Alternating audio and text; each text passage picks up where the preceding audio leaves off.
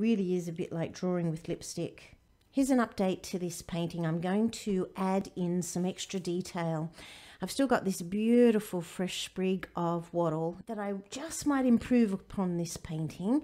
And recently I purchased these Faber-Castell. Break them out, take out the two yellows and see if I can improve upon the painting. So these are little bit like lipsticks.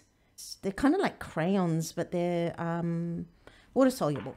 So I thought maybe, because this bit here in particular was bothering me, I'm going to squeeze it, roll it up a fair bit, and see whether or not it might make the loveliest wattle blossom look.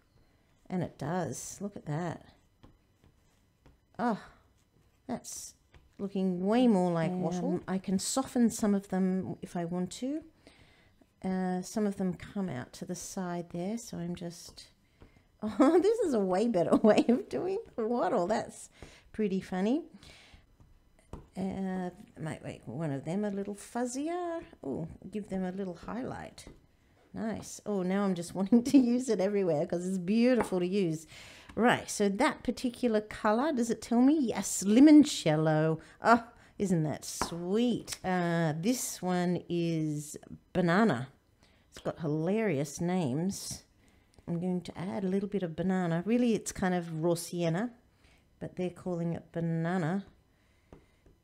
And I'm going to go over each of the little blooms that I've just added with banana.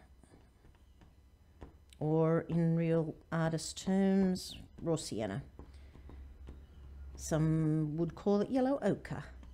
Oh gosh. They're incredibly easy to use. It really is a bit like drawing with lipstick. I'm going to go back to the first colour the um, limoncello. And just put in a few more little highlights. This is the perfect tool for doing wattle. This, ah, oh, I've turned it into something much better. I'm going to add a few more.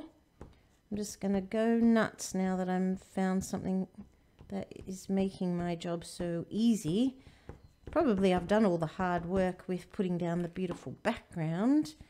And these little beauties are just coming in far more like wattle. I think it should come out into this space or this space. No, I, I like that bit. I might make them come over. Might, some of the blooms are actually quite big, like they're nearly a centimetre in diameter. So I might, oh, that's the banana colour. This is limoncello. So I'll make it come into this space. It is quite similar, this limoncello. Um, for It's good for adding the highlights, actually. When I put it together, it's somewhere between limoncello and banana. So using those probably went a bit over the top in there. Having said that, it would be really easy to get rid of it. So one way would be to get a, a brush with a bit of water and they'll soften because they're water soluble. But also, I can just use my finger. They, it feels like crayon that I'm touching, just blending a little bit. It gets on your finger, but that's all right. Doesn't feel too bad just soften them. Make little soft bally shapes. This one's looking incredibly green because it's sitting on the blue so I might add a little more. Right that's better. So this pack from Faber-Castell comes with a few tools so I might attempt to use I assume that brush is for uh, adding water and softening but what I'm wondering is whether or not it allows you to soften with the brush and so a little bit is coming off onto the brush I thought maybe I'll get a a lovely fluffy shape with the the brush not really It's not doing much, so I, I assume the brush is intended for adding water. Thank you for watching.